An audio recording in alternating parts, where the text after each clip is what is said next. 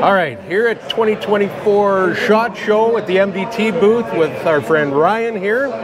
Ryan, what do we got new for this year, particularly this?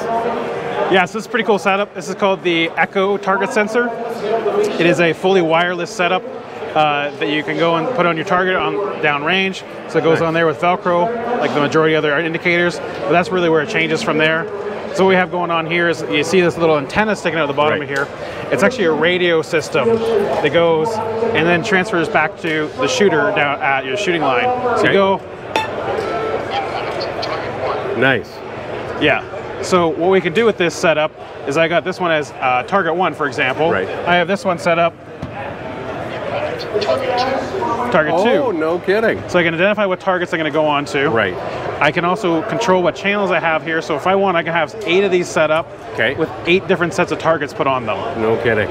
So lots of shooting all day. Right. Um, you set the sensitivity settings on it as well, obviously. Volume settings. If we want, we can change the mode on here. So if I go to mode three, give it a hit. This dings, right? Nice, So you can have it identify your targets. You can have it as ding. You can do a few Right. different things like that. Range on it right now is two miles. We've tested it much further.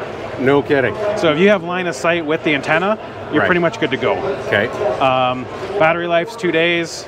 Uh, you can put it on any kind of steel target, AR 500 steel target you want, or whatever, and uh, you're good to go. Okay, so sensitivity. So the rim rimfire guys are going to want to know uh, will it get down to that level Oh, yeah. of sensitivity? Yeah. Okay. Awesome. Yeah, it's uh, the like they've, they've tested on some pretty damn big plates, Right. Uh, and it goes off. Yeah, No kidding. yeah, Well, that, that's that's important too. I guess the, the ELR stuff.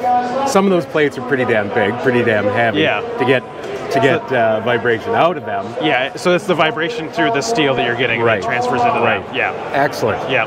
Okay. Uh, MSRP on these yet?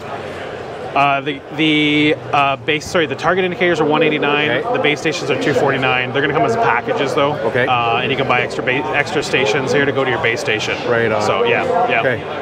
That's uh, that's a hell of a handy tool. It is, man. Nice. Yeah. So All right.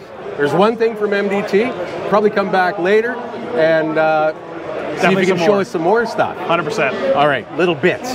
Yeah. All right. Thanks, Ryan. Thanks, man. All right, back at the MDT booth again with another couple of exciting things. Yeah, so what we have going on here is our brand new MDT stage timer. Uh, so what this is set up to do, you have people going and asking for how much time they got left at the end of their st- during their stage all the time. Never heard of that. and it is a giant pain in the butt for ROs because they never give you the right time. It's and you lose time while you're doing it too. So we came up with our own design and new timer system called the Crush It Timer. Uh, the idea behind this is infinitely adjustable, or you can run just basic mode. And in basic mode, you have your start alerts, you got a finish alert, and then you got a 50% alert, a 20% alert, a 10 second, and a 5 seconds. That's a lot for a mind like mine to process. Well, once you start listening to it, it's pretty easy. Right. So the other thing we did too is we got a two and a half mil jack on the back here, so you can go and hook up a pressure switch to it, so you don't actually have to hit the button. So when you're in a stage, you set up here, you go up, you hit this button, it starts beeping, and starts going.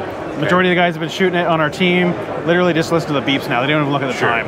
Um, multiples of them have been gaining points in like finales. Andy I Slade, bet. Andy Slade, he uh, placed second in the finale this year at PRS. He said he gained at least three to four points because of that timer. no kidding. Yeah, so Okay. very cool setup there. You reset it. Now programmability, I'm not going to go through all that, but it's Right. pretty No, badass. that's good. So now looking over here, this is the ACC Premier Gen 2. So we released the Elite last year or a year and a half ago, um, and we really wanted to do an update on the current Premier. Sure. So we came up with the Premier Gen 2. What we did was we took the fore end off the Elite, put it on here, so it's super stiff. Use the NV bridges, control bridges off here, same weights, same internal weights, everything normal like that. Moving back, we got an ambi latch, which you can replace with an adjustable latch. Okay. There's dowel rods inside here for 22 shooters, like this Vudoo's in it right now. Sure. Give a little more stability to that mag. Simplified the buttstock substantially, Right. but maintain the same geometry so you can use the same dampeners, weights, everything in the back end. Okay. Retail on this US $1,000. No kidding. Yeah. Nice. So Excellent. Well, that is really good. At Yeah. least you got still have this in the queue now, Yeah. along with uh, the other offerings that you offered last year. Yep. Perfect. Cool. I like it. Awesome. All right, here we are again. Come back for more.